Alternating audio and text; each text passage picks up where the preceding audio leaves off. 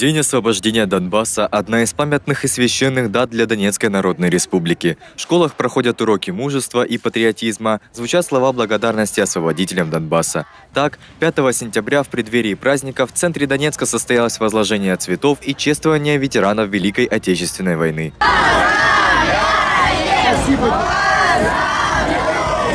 Неторопливо, с улыбкой на лице, звеня медалями и орденами, идут они, те, кому мы обязаны жизнью.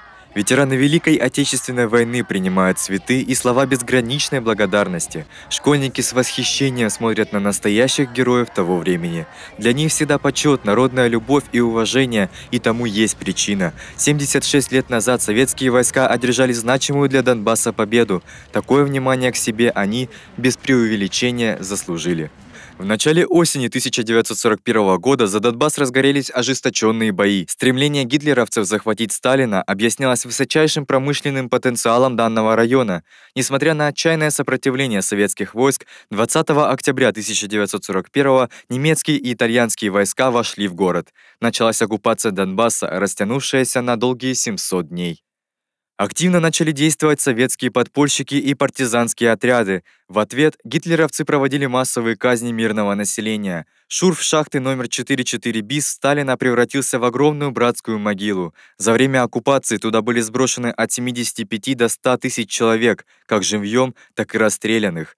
Из всех жертв удалось опознать не более 150 человек. Несмотря на жесточайшие репрессии, покорить жителей Донбасса нацистам так и не удалось. 13 августа 1943 года советская группировка войск, насчитывавшая более миллиона солдат и офицеров, 21 тысячу орудий, 1257 танков и 1400 самолетов, начала наступательную операцию.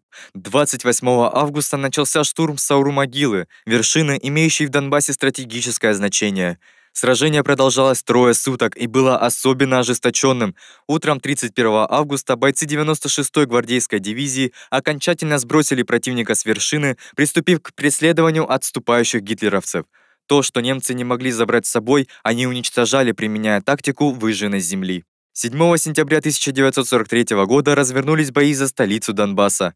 Утром 8 сентября в город со стороны Рудченкова ворвались подразделения 50-й стрелковой дивизии полковника Владычанского. В освобождении также участвовали бойцы 301-й и 230-й стрелковых дивизий и партизаны. К исходу первой половины дня Сталина полностью оказалась под контролем советских войск. Впоследствии именно 8 сентября стали отмечать как День освобождения Донбасса. Сталина к моменту оккупации гитлеровцами находилось около 400 тысяч человек. Освобождения дождались всего около 175 тысяч.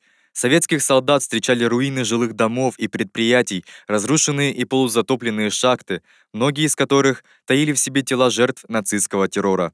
Но уничтожить Донбасс нацистам так и не удалось. Уже к началу 1945 года три четверти шахт возобновили добычу, заработали крупнейшие предприятия региона.